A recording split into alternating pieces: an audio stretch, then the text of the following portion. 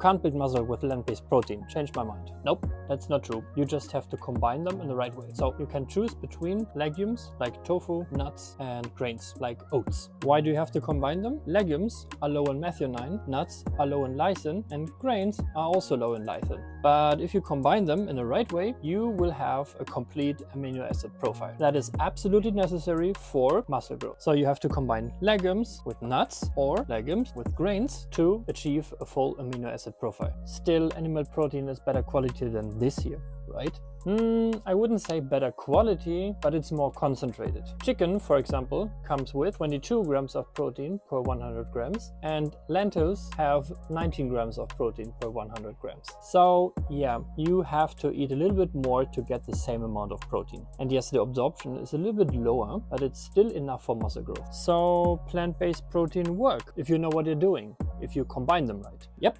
correct. Combine smart, eat enough, plants build muscle too.